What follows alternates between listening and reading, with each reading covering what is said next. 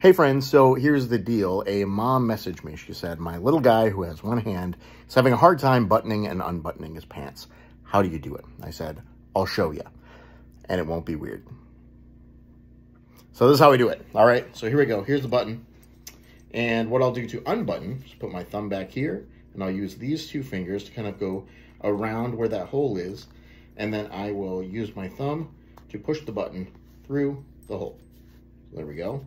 And then I put it back together, kind of hold it there with my thumb, use my index finger to put in that hole there, and then use both of these fingers as my thumb pushes the button through the hole to guide it through, and there we are.